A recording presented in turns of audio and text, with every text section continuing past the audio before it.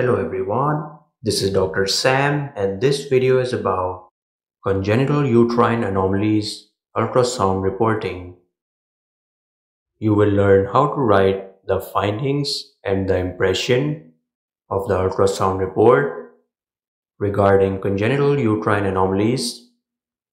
The first anomaly is uterus didelphys, which is also known as double uterus this is the example report starting with clinical information. The patient presents with a history of irregular menses and dysmenorrhea. Previous medical records indicate unexplained infertility. The pelvic ultrasound was performed transabdominally and transvaginally to evaluate the uterine structure and endometrium. These are the findings. Uterus. The uterus appears to be duplicated with two distinct uterine bodies, each with its own cervix, consistent with a diagnosis of uterus didelphys. Each uterine cavity measures approximately 7 centimeters in length and displays a normal myometrial echo pattern without evidence of leiomyoma or focal lesion. Right uterus. The right uterine body shows a normal endometrial stripe measuring 3 mm in thickness. No adnexal mass or free fluid is observed in the right adnexa. Left uterus the left uterine body similarly demonstrates a normal endometrial stripe, also measuring 3 mm. A small, simple ovarian cyst is noted on the left ovary, measuring approximately 2 cm. No significant free fluid or adnexal mass is present in the left adnexa. Ovaries both ovaries are visualized and appear normal in size and morphology. The aforementioned simple cyst is seen on the left ovary. The right ovary shows normal follicular development for the patient's menstrual cycle phase. This is the impression. Uterus didelphys with two distinct uterine bodies and cervices normal ovaries with a small simple cyst on the left ovary. No evidence of intrauterine pregnancy at the time of scan. These are recommendations which include follow-ups and referrals. Further evaluation with MRI may be beneficial for comprehensive anatomical mapping consideration of a fertility consultation to discuss reproductive options and management. Regular follow-up is recommended to monitor the simple cyst on the left ovary. Now we have a case of bicornuate uterus. Clinical information. The patient presents with a history of recurrent miscarriages she has been referred for further evaluation of uterine anomalies suspected in previous pelvic examinations. These are the findings. Uterus. The uterus is irregular in shape, displaying a prominent indentation on the fundal contour that extends towards the cervical canal consistent with a bicornuate uterus. This configuration is characterized by two distinct uterine horns which are well delineated in the 3D coronal view, confirming the suspicion of a bicornuate uterine anomaly. These are the uterine dimensions. Right horn measures approximately 8 centimeters in length and 4 centimeters in width. Left horn measures approximately 7.5 centimeters in length and 3.8 centimeters in width. The myometrial echo texture is homogeneous with no evidence of myomas or focal lesions within either uterine horn. Endometrial stripe The endometrial linings within both horns appear normal, with thickness measurements consistent with the patient's phase in the menstrual cycle, approximately 5 mm in both horns. Ovaries both ovaries are visualized and appear normal in size, position and morphology.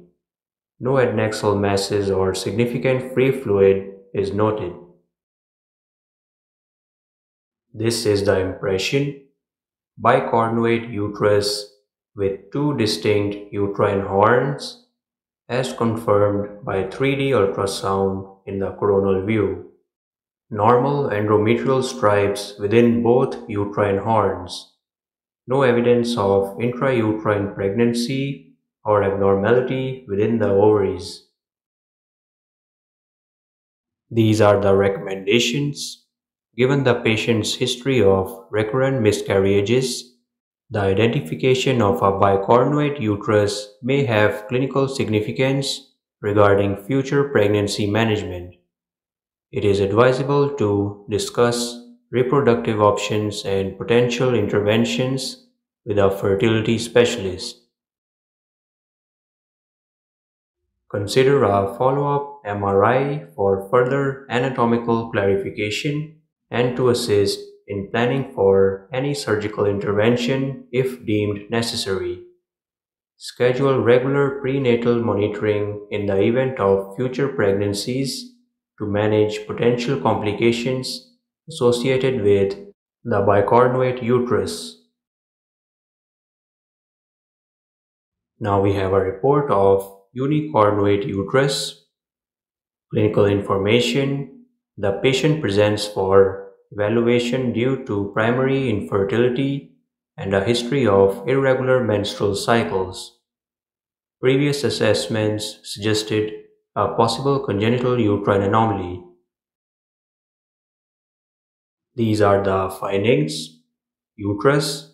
The uterus is observed to be smaller than normal with a single horn, indicating a unicornuate uterus. This configuration lacks the typical pear shape, appearing elongated and curved. The 3D coronal view distinctly showcases the absence of the second uterine horn, confirming the unicornuate nature of the uterus. Uterine dimensions The single horn measures approximately 6 centimeters in length and 2.5 centimeters in width. The myometrial echo pattern is homogeneous without evidence of myomas or focal abnormalities. Endometrial stripe The endometrium within the visible uterine horn appears thin and regular, measuring approximately 3 mm in thickness, which is consistent with the patient's reported phase in the menstrual cycle. The ovaries appear normal. This is the impression unicornuate uterus with a single horn visualized, confirmed by both standard and 3D ultrasound in the coronal view. Normal ovarian appearance with no evidence of associated anomalies or masses. No evidence of intrauterine pregnancy at the time of the examination. Recommendation consideration for additional imaging such as MRI for comprehensive assessment of renal anomalies commonly associated with congenital uterine abnormalities. This is a report for septate uterus. Clinical information. The patient reports a history of infertility and recurrent pregnancy loss. Technique includes standard and 3D ultrasound. These are the findings. The uterus appears normal in size and myometrial echo texture. However, a deep septation is identified extending from the fundus towards the cervical canal, dividing the uterine cavity into two distinct compartments, which is characteristic of a septate uterus.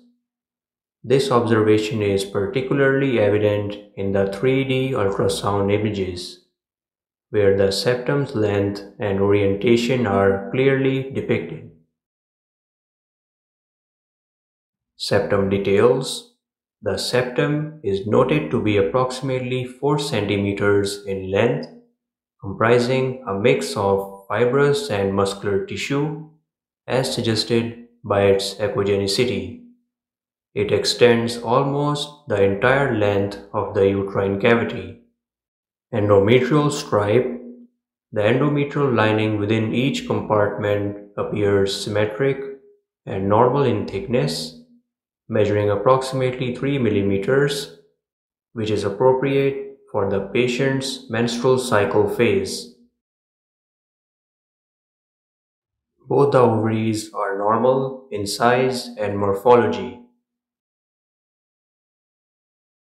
This is the impression septate uterus with a significant intrauterine septum dividing the uterine cavity into two compartments. Normal ovarian morphology with no evidence of adnexal pathology. These are the recommendations. An MRI of the pelvis could be considered for further delineation of the uterine anatomy and septum characteristics. Close follow-up is advised, particularly if surgical intervention is pursued to monitor for potential complications and to assess for improvements in reproductive outcomes. This is a report for arcuate uterus, clinical information, the patient presents for evaluation of uterine morphology as part of an infertility assessment. There is no significant past medical or surgical history reported. These are the findings. The uterus is anteverted and appears normal in size. However, there is a slight smooth indentation seen at the fundus consistent with an arcuate uterus. The 3D imaging, especially in the coronal view, clearly demonstrates the mild concavity at the uterine fundus without evidence of a deep septum, distinguishing this morphology from a septate uterus. Uterine dimensions approximately 8 cm in length 5 centimeters in width and 4 centimeters in depth. The myometrium exhibits homogeneous echotexture without evidence of leiomyomas or focal abnormalities. Endometrial stripe The endometrial lining appears uniform and measures 4 millimeters in thickness, which is within normal limits for the patient's menstrual cycle phase. Both the ovaries are normal. Here is the impression. An arcuate uterus is identified with a characteristic mild fundal concavity noted on both standard and 3D ultrasound imaging without evidence of a septum extending into the uterine cavity. Normal ovarian morphology and activity with no Pelvic pathology identified. Recommendations The arcuate uterine configuration is considered a variant of normal uterine anatomy and typically does not require intervention. It is unlikely to significantly impact fertility or pregnancy outcomes. Thank you so much for watching. Please subscribe and stay tuned for more imaging videos.